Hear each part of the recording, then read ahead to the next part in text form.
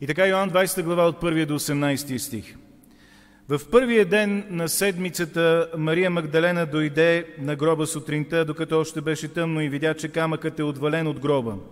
Затова се завтече и дойде при Симон Петър и при другия ученик, когато Господ обичаше им каза Отнесли са Господа от гроба и не знаем къде са го положили. И така Петър и другия ученик излязоха и отидоха на гроба. И двамата тичаха заедно. Но другият ученик изпревари Петър и стигна пръв на гроба. И като надникна, видя плащениците положени, но не влезе вътре. След него дойдо Симон Петър и влезе в гроба, видя плащениците положени и кърпата, която беше на главата му, не сложена при плащениците, а свита на отделно място. Тогава влезе другия ученик, който пръв стигна на гроба и видя и повярва. Защото още не бяха разбрали писанието, че той трябваше да възкръсне от мъртвите. И така учениците се върнаха пак у дома си. Мария стоеше до гроба отвън и плачеше, и така както плачеше, надникна в гроба и видя двама ангели в бели дрехи седнали там, където беше лежало тялото на Исус, единия от към главата, другия от към краката. И те я попитаха, Жено, защо плачеш? Отговори им, защото са отнесли моя Господ и не знам къде са го положили. Като каза това, тя се обърна и видя Исус, че стои, но не позна, че беше Той. Исус и каза, Жено, защо плачеш? Кого търсиш? Тя, като мислеше, че е градинаря, му отговори, Господине, ако ти си го изнесъл, кажи ми къде си го положил и аз ще го взема. Исус и каза, Мария. Тя се обърна и му каза на еврейски равуни, което значи учителю. Исус и каза, не се допирай до мен, защото още не съм се възнесъл при отца. Но иди при братите ми и им кажи, Възнасям се при моя Отец и вашия Отец, при моя Бог и вашия Бог.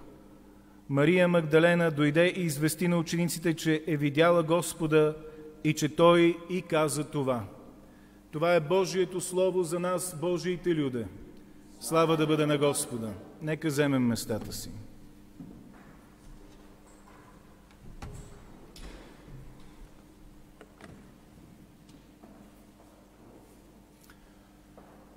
Скъпи брати и сестри, много а, пъти ние сме се спирали на, на разказа за първите свидетели на Възкресението на нашия Господ Исус Христос. Навлизали сме в детайли, размишлявали сме защо това се е случило именно така, а не по някакъв друг начин. Затова в днешния ден, на днешния празник Възкресение, аз бих искал да погледна а, малко по-общо на това събитие. Какво е всъщност новото, което Възкресението на нашия Господ ни донася? Не само на нас, които сме повярвали в Него, но какво ново то внася в този свят? Вие знаете, че Христос, въплатеният Божий син, беше наречен от свети Йоан Дамаскин единственото ново под слънцето.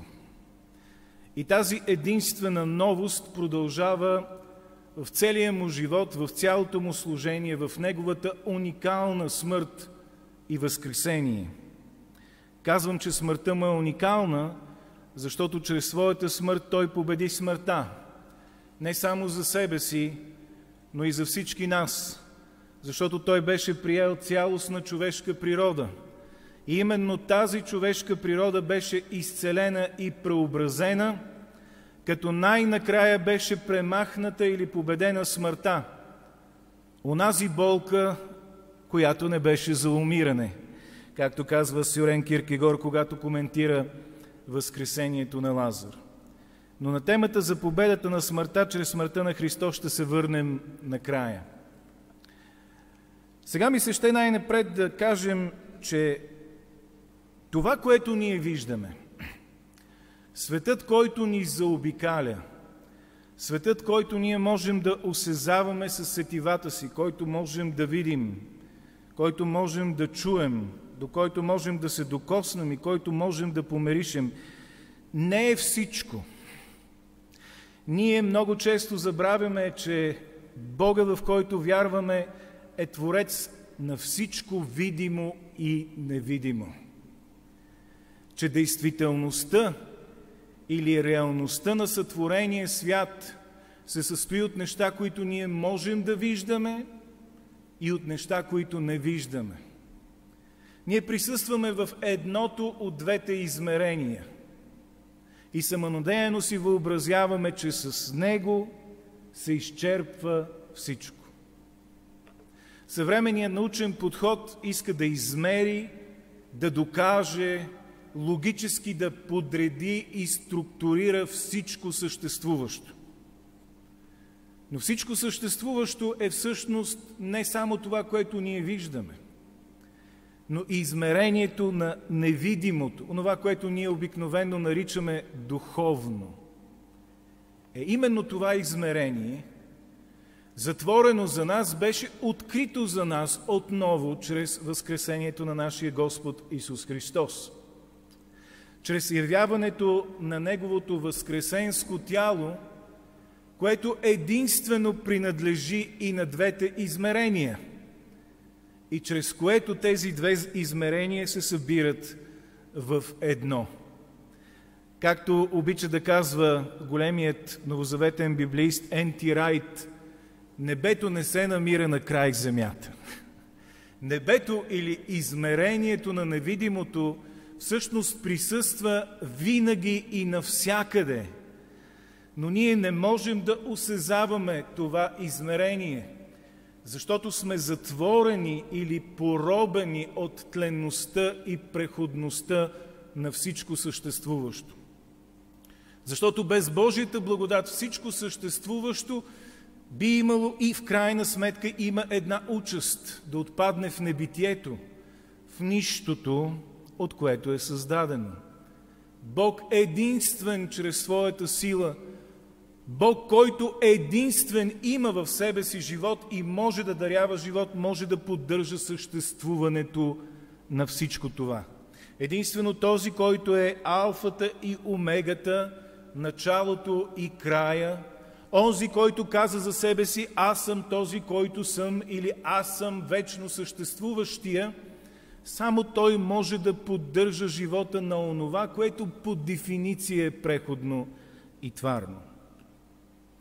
Аз не казвам, че този свят, който ние виждаме с очите си, осезаваме с сетивата си, не е реален, красив и добър. Нямаме причина да го кажем. Защото когато авторът на книгата Битие описва сътворението на света, той казва, че когато Бог видя това, което излизаше в неговите творчески актове, идваше в съществуване, той видя, че това беше добро и когато създаде човека, видя, че е дори твърде добро. Този свят е реален, красив и добър. Но това, което ни се казва ясно и даже бих казал оглушително чрез възкресението на нашия Господ е, че този свят не изчерпва всичко. Този свят не изчерпва всичко, защото съществува и друга реалност или друго измерение на реалността. На същата тази реалност, която ние гледаме, но не можем да видим в пълнота. И пак се връщаме на това. Всичко, което виждаме и ние самите сме преходни. Преходни. Но чрез възкресението на нашия Господ Исус Христос, законът на тлението и смъртта е преодолян или победен.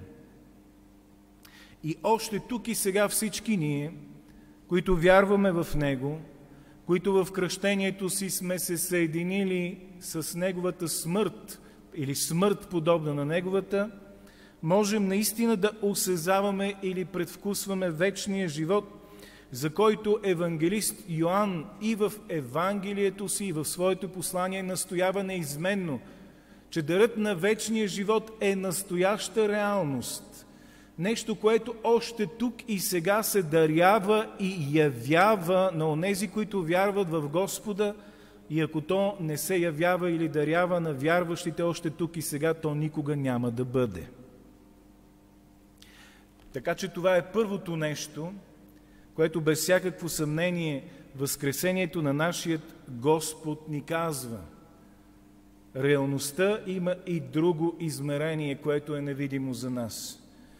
Но възкресенското тяло на нашия Господ Исус Христос ни явява това друго измерение. И чрез тази смърт и възкресение разрива между тези две измерения, между видимото и невидимото се преодолява. Възкресението на нашия Господ Исус Христос ни казва нещо важно, което има един по-скоро политически смисъл. Знам, че ние българите обикновенно мислим политиката за мръсна работа.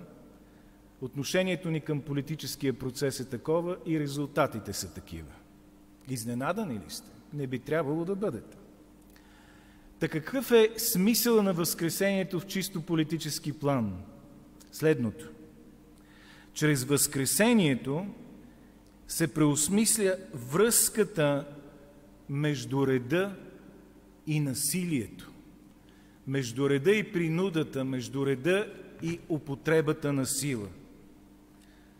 В светлината на Възкресението на Христос ние сме предизвикани да преосмислим тази обичайна връзка или разбиране за отношението между обществения ред и порядък и насилието.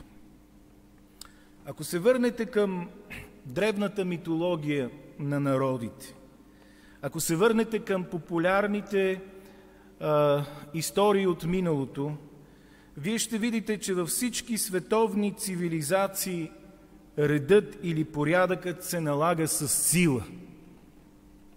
Дори демокрацията. Понякога се опитват да я наложат с сила там, където все още обществата не са готови. Не се получава обикновено. Но така или иначе, когато искате да въведете ред, това е било винаги в световната история. Това става чрез сила, чрез принуда. И този ред, както всички ние знаем, се поддържа отново чрез силата или принудата. Във времето на нашия Господ Исус Христос този ред се поддържаше от силата на римските легиони и кръстът е символ на тази крайна, ужасяваща, унизителна принуда. Но със своята смърт и възкресение Исус Христос преобръща или унищожава тази връзка. Спомнете си какво ни се казва в посланието към филипяните, че макар той да беше в образа Божий, макар да споделяше същата природа като на Бога, той не смяташе за нужно да се възползва за себе си от равенството си с Бога, но понизи себе си, или както се казва на гръцки, изпразни себе си от всичко – и прие човешки образ, образа на слуга и стана послушен до смърт, дори смърт на кръст. И вижте, кръстът, който беше символ на тази принуда, която поддържа римския мир, пак с Романа. Този именно кръст преобърна всичко и показа, че порядъкът може да бъде установен не чрез насилие, а чрез смирение и любов. Че любовта Божия може да погълне и, нека да го кажем така, да анихилира силите на принудата, на насилието, и да ги превърне в нещо добро. Онова, което човеците намислиха за лошо, в своето провидение, в своята милост и любов, Бог претворява в нещо добро. И Възкресението е най-оглушителното доказателство за това обръщане на отношенията.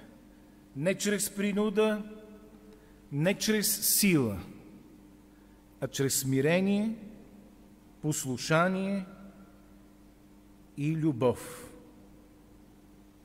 Обърнете внимание, Исус Христос не възстановява реда чрез един още по-голям акт на насилие, защото обикновено така се получава в историята. Той прави точно обратното. И в това се състои скандала на кръста.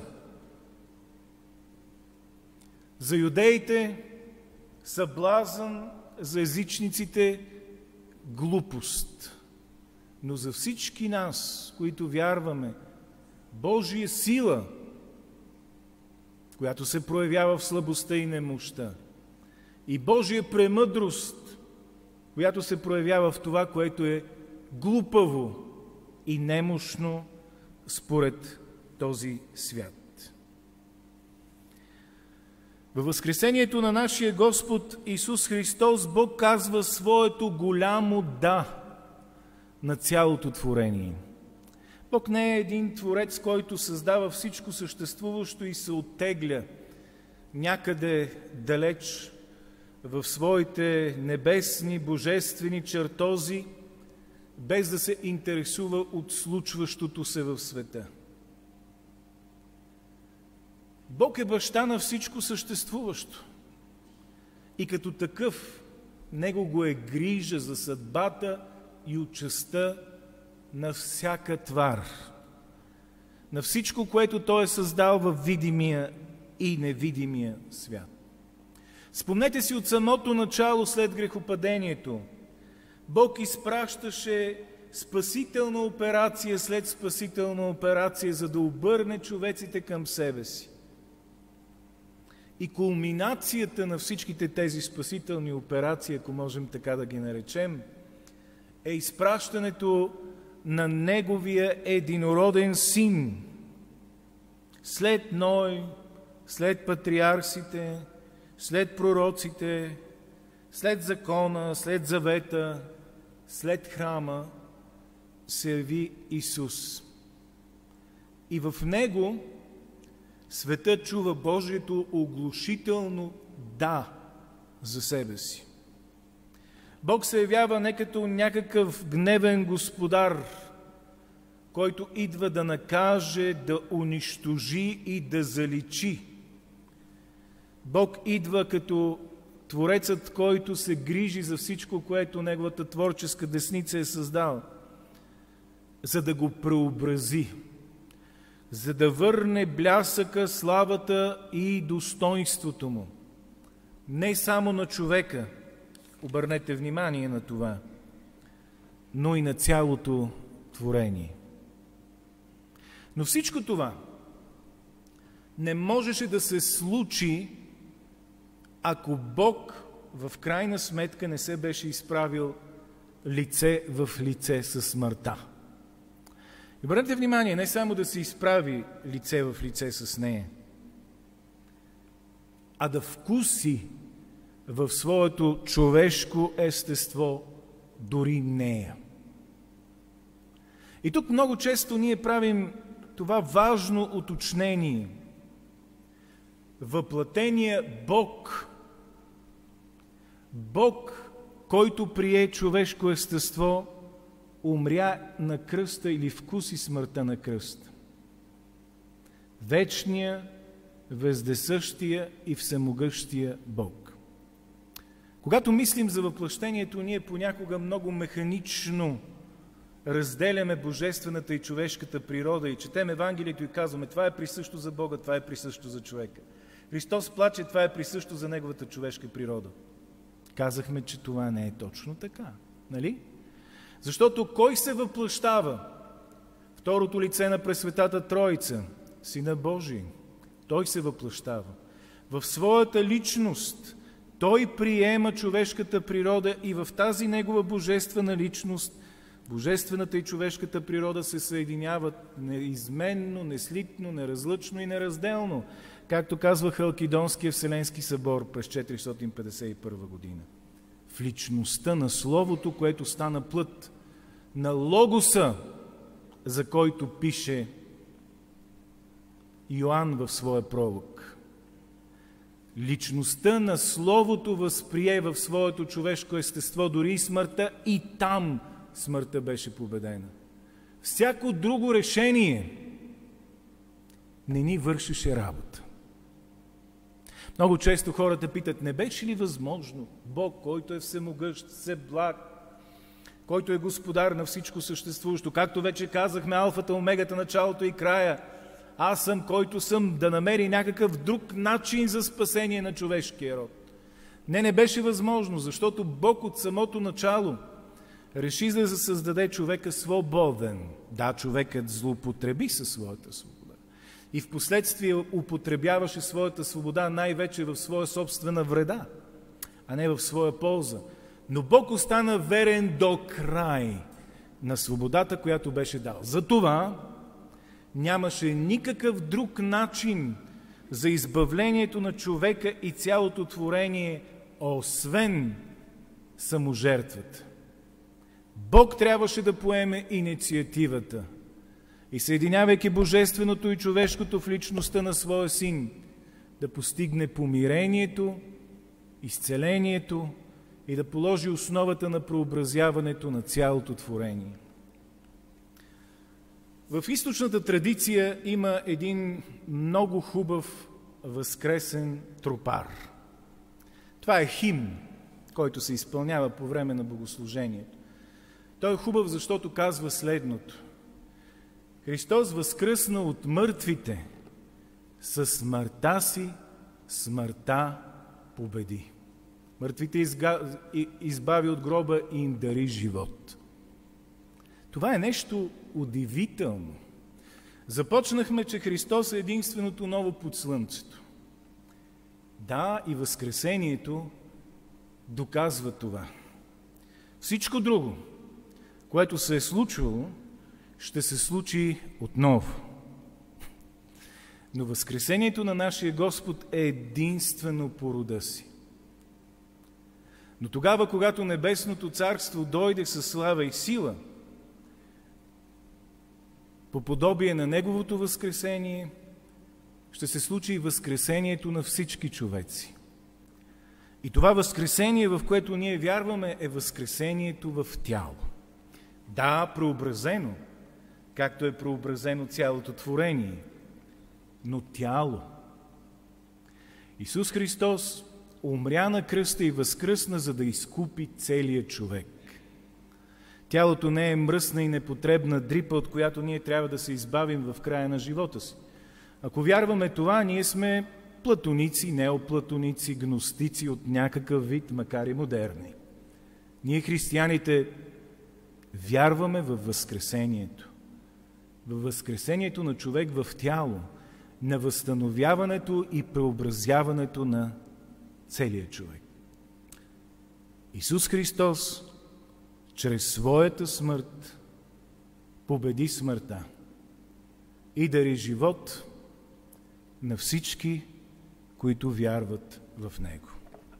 Затова ще завърша тази проповед с този възкресенски трупар. Ще ви го изпея на гръцки, за по-интересно. за да ви позвучи по-автентично, защото целият Нов Завет е написан на гръцки. Христос анести екнекрон.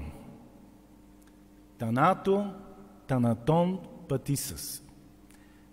Кетис ентис мнимаси, зоин, арисаменос. Ето сега ще видите как звучи. Преди една година ви поздравих с едно друго нещо, спомняте си, може би. Трябва да има елемент на изненади. Христос анести екнекрон, данато танатон, πατήσας και της εν της νήμασι ζωήν αρισάμενος. Χριστός ανέστη εκ νεκρών, θανάτων, θάνατον πατήσας και της εν της μνήμαση ζωήν αρισάμενος. Χριστός ανέστη εκ νεκρών θανάτο, θάνατον πατήσας, έτης εν της μνήμας η ζωή, αρισάμενος. Χριστός ανέστη εκ νεκρών θανάτω, θάνατον πατήσας, και της εν της μνήμας η ζωήν αρισαμένος. Χριστός ανέστη εκ νεκρών θανάτω, θάνατο πατήσας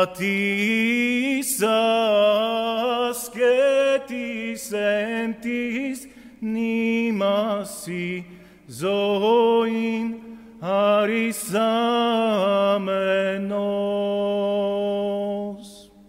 Христос възкръсна.